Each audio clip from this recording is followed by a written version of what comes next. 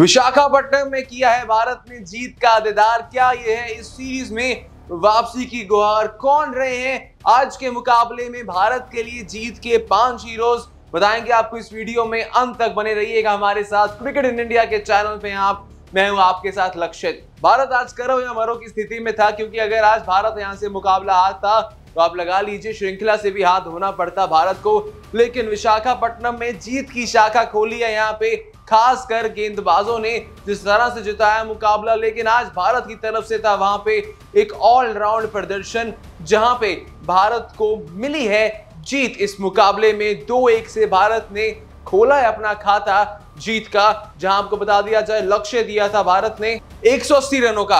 अब बारी बारी बताते हैं, कौन रहे हैं आज की जीत में भारत के पाँच हीरोज नंबर एक पे यहाँ पे आती है, आज के मुकाबले के हाईएस्ट रन स्कोरर की बारी, जहाँ पे रहेंगे ज़रूर ऋतुराज गायकवाड़। पहले दो मुकाबलों में चेन्नई सुपर किंग्स के युवा बल्लेबाज का बल्ला नहीं बोला था, लेकिन आज बल्ला बोला है और बेहतरीन बोला है।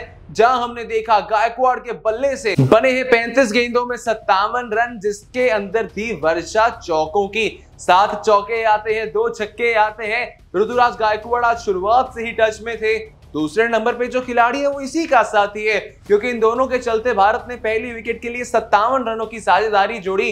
वहाँ पे नाम आता है ईशान किशन का। ईशान का आज शानदार परफॉर्मेंस आया। ईशान किशन ने भी अर्धशतक जड़ा। जहाँ किशन ने आज 35 गेंदों में बनाए चौवन रन, पाँच चौके, दो छक्के, उस पारी में शामिल।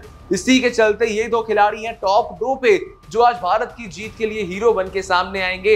इन दोनों की सत्तावन रनों की वो साझेदारी जिसने भारत को एक मज़बूत शुरुआत दी। हालाँकि मिडल ऑर्डर थोड़ा सा डगमगाया, लेकिन उस डगमगाते हुए मिडल ऑर्डर को अंत में आके संभाला कुंग पांड्या, यानी कि हार्दिक पांड्या ने, जहाँ हमने देखा हार्दिक पांड्या के बल्ले से पारी को फिनिश करने के लिए एक शानदार और सेंसिबल नौकाई हालाँकि उस पारी में कोई छक्का नहीं था, चार चौके थे मौजूद, लेकिन पांड्या ने single double running between the wickets के चलते रन काफ़ी ज़्यादा जोड़े, जिसके चलते आज पांड्या ने बनाए 21 गेंदों में 31 रन। अंत में आके पांड्या ने वो रन जोड़े, जिसके चलते भारत ज़रूर एक सौ उनासी तक पहुँचा और 180 का वहाँ पे दिया लक्ष्य। फिर आती है बारी यहाँ से, अब चौथे नंबर पे कौन सा खिलाड़ी रहेगा?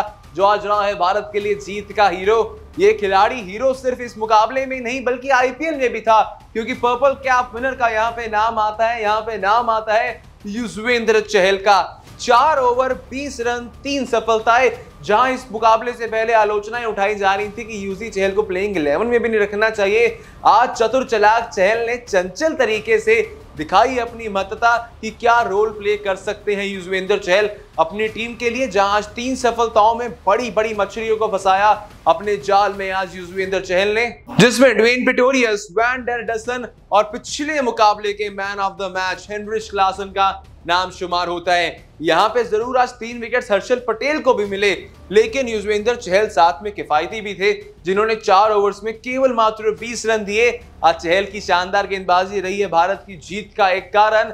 उसके अंदर थी शामिल इंपॉर्टेंट सफलताएँ, लेकिन जीत का पांचवा हीरो आप भी सोच रहे होंगे कौन होगा? जहाँ आपको बता दिया जाए, जीत का पांचवा हीरो यहाँ पे बन के सामने आते हैं। कप्तान ऋषभ पंत। पहले दो मुकाबलों में कप्तानी के कुछ निर्णयों में वहाँ पे अभाव था, जिसके चलते ऋषभ पंत की कप्तानी की आलोचना की जा रही थी। आज पंत का बल्ला हालाँकि बोला नहीं, लेकिन यहाँ बात कर ली जाए तो पंत का बोला है आज कप्तानी का तौर तरीका, जहाँ पे स्मार्ट कॉल से डीएस लेने के या ना लेने के, उसके चलते पहले पंत की तारीफ़, भला वो पहले ओवर में भुवनेश्वर कुमार का डीएस हो या फिर बॉलिंग चेंजेस की बात आज किया है, स्पिनर्स का बेहतरीन यूज़। जिसके चलते स्पिनर्स ने आज इन्हें दिलवाई है सफलता और मुकाबला भी जीता है भारत ने। तो ये थे हमारी तरफ़ से आज के मुकाबले के पाँच हीरो ईशान किशन, ऋतुराज गायकवाड़, हार्दिक पांड्या, युजवेंद्र चहल और ऋषभ पंत। आपके लिए कौन है इस मुकाबले के हीरोज इसके अलावा बताइए अपनी राय। हमें कमेंट सेक्शन में। और क्या लगता है, चौथे मुकाबले में राजकोट में क्या दो दो से बराबरी कर पाएगा भारत? या फिर श्रृंखला को अपने नाम कर जाएगा यहाँ से। साउथ अफ्रीका, दीजिए अपनी राय हमें कमेंट सेक्शन में। साथ ही में सब्सक्राइब कर दीजिए हमें यूट्यूब पे। फॉलो कर लीजिए फेसबुक पे। जानने के लिए क्रिकेट से जुड़ा हर एक लेटेस्ट अपडेट वो भी सबसे पहले।